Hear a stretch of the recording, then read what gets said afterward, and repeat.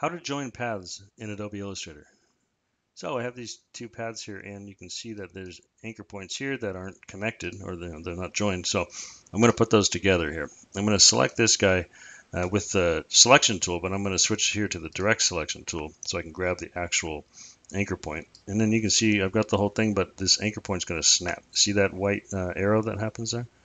Uh, so that thing is now they're right on top of each other. I can go to Object, Path, and Join, and now they're as if I drew it like that. They're permanent. I'm going to undo here, Command Z a couple times. I want to show you another uh, technique that you might need to, you know, depending on what project you're using or uh, doing. Sorry, uh, I'm gonna just gonna grab the the top anchor point here, not not this one. I'm gonna copy, paste, Command C, Command V, and bring this guy over here. I'm gonna use the reflect tool, vertical axis, cool. Same thing uh, with the direct selection. I'm gonna grab that anchor point. I'm gonna put it right on this anchor point. I'm gonna select those two, object, path, join.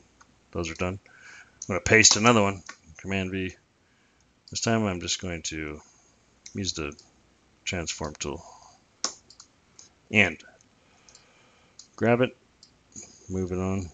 Whoops. Oh yeah, no, it'll work. I was looking at the other side. And join, Command J or object path join. And then we can just grab the whole thing.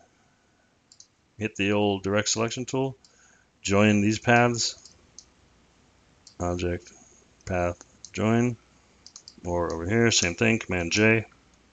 And now you've got this. Watch. Let's, let's uh, switch that. All joined up just like you drew the thing together. Obviously, in this case, you can make just a rounded rectangle, but uh, whatever you it is you're working on, you're probably going to need it for something more complicated than that. And that's how you do it. Hope you enjoyed the tutorial and have a good one.